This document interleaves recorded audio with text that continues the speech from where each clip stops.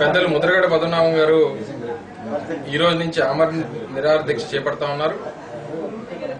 కాపులకి తెలుగుదేశం పార్టీ మేనిఫెస్టోలో పెట్టినటువంటి బీసీ రిజర్వేషన్ కల్పిస్తా ఉన్నటువంటి నిర్ణీత కాల సమయంలో బీసీ రిజర్వేషన్ కల్పిస్తా ఉన్నటువంటి అంశం అనేది.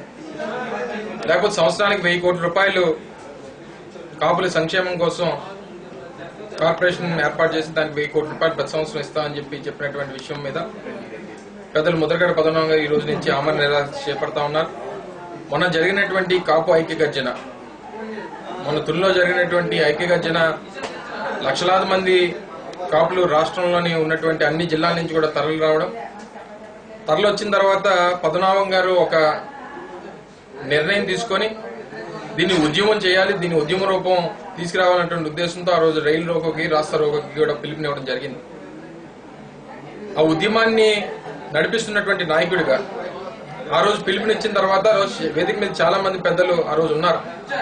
ఎవరితో కూడా ఆయన సంప్రదించకపోయినా ఉద్యమాన్ని నడిపిస్తున్నటువంటి నాయకుడిగా ఆయన పిలుపునిచ్చిన తర్వాత ఆయనకి సంఘీభావం తెలియజేసినటువంటి అవసరం కాపులకి అండగా నిలబడాల్సినటువంటి అవసరం వేదిక మీద ఉన్నటువంటి నాయకులతో పాటు ఇచ్చేసినటువంటి కాపు సోదరులు అందరి మీద కూడా ఆ రోజు ఉండడం. వచ్చిన తర్వాత అనేక విధ్వ- విధ్వంసకరమైనటువంటి సంఘటనలు జరిగాయి. అదే సమావేశం సాదాసీదాగా జరిగిపోయి అందరూ మాట్లాడేసి వెళ్ళిపోయి ఉంటే తర్వాత రోజు చంద్రబాబు నాయుడు చేసేటువంటి మేనేజ్మెంట్తో ఎక్కడా కూడా ఒక స్పష్టమైనటువంటి ఒక ఒక వెలుగు లాంటి కాపులకు సంబంధించినటువంటి నిరసన తెలియలేదు జరగపోనేమో అన్నటువంటి ఆలోచన కూడా అందరిలో కూడా కలవడం.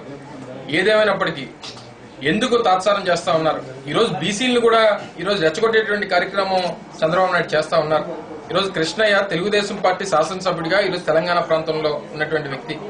నిన్న మా నాయకులు కూడా అడిగారు తెలంగాణ ప్రాంతంలో ఉన్నటువంటి దాదాపు ఇరవై మూడు బీసీ కులాల్ని నూతనంగా ఏర్పడినటువంటి తెలంగాణ రాష్ట్రంలో బీసీల నుంచి తొలగిస్తే ఆ రోజు కృష్ణయ్య గారు ఎందుకు మాట్లాడలేదని చెప్పి అడగడం జరిగింది. ఈరోజు మేము కూడా అడిగేటువంటి డిమాండ్ కాపులు అడుగుతున్నటువంటి ప్రధాన డిమాండ్ బీసీలకి అన్యాయం జరగకుండా కాపులకి రిజర్వేషన్ కల్పించాలని చెప్పి కోరుతా ఉన్నారు. మొన్న జగన్మోహన్ రెడ్డి గారు చెప్పినట్టు రాజ్యాంగంలో ఉన్నటువంటి తొమ్మిదో షెడ్యూల్లో రాష్ట్రంలో శాసనసభలోని ఒక తీర్మానం చేసి దాన్ని కేంద్ర ప్రభుత్వానికి పంపించి రాజ్యాంగంలో ఉన్నటువంటి తొమ్మిదో షెడ్యూల్లో దాన్ని పొందుపరిచి దానికి రాజ్యాంగం బద్దమైనటువంటి ఒక దీన్ని తీసుకురావాలనేటువంటి ఆలోచన చెప్పడం జరిగింది. ఏదైతే ఇప్పుడు తమిళనాడులో కానీ కర్ణాటకలో ఉన్నటువంటి మాదిరిగా ఆంధ్ర రాష్ట్రం కూడా కల్పించమని కోరుతా ఉన్నాం. తప్పకుండా ముద్రగడ పద్మనాభం గారికి మా పూర్తి సంఘీభావం తెలియజేస్తా ఉన్నాం. తప్పకుండా కాపులకి చేయాల్సినటువంటి రిజర్వేషన్ని ఏదైతే తెలుగుదేశం పార్టీ మేనిఫెస్టోలో పెట్టినటువంటి కార్యక్రమాన్ని తెలుగుదేశం పార్టీ కట్టుబడి ఉండాలని నిర్ణీత కాల సమయంలో దాన్ని పూర్తి చేయాలని చెప్పి డిమాండ్ చేస్తా ఉన్నాం.